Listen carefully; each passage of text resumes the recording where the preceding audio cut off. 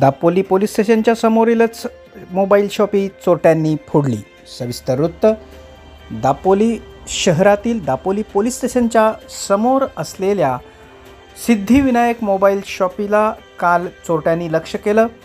Dapoli police स्टेशनच्या समोरच Siddhivinayak mobile shoppe ही दीपांकर बुटाला राहणार वाकवली यांची मोबाईल शॉपी आहे. या शॉपीमधून अडतीस हजार रुपयाच्या वस्तूंची चोरी झाल्याची माहिती दीपांकर बुटाला यांनी आमच्या प्रतिनिधींना दिली.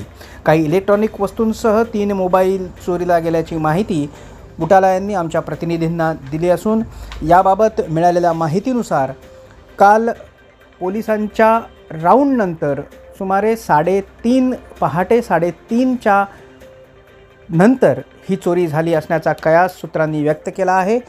यापूर्वीही याच पोलीस लाईन परिसरातील एका दुकानाचं कुलूप वाकवून ते दुकान तोडण्याचा प्रयत्न चोरट्यांनी केला होता. मात्र त्याची तक्रार ही पोलीस स्थानकात नोंद झाली नसल्याचीही माहिती प्राप्त होत आहे. म्हणजे गेले चार दिवस या परिसरातील दुकानांवर हा चोरट्या लक्ष ठेवून होता.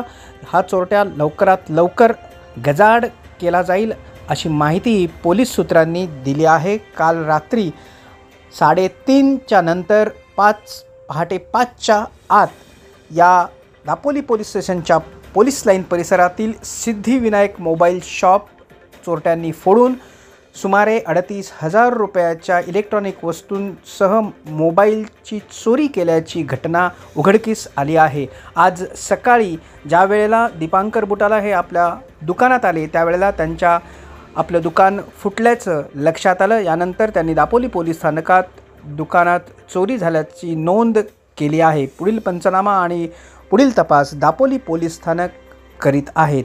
विशेष प्रतिनिधी आणि सलीम रखंगसह निवेदिता फास्ट न्यूज दापोली.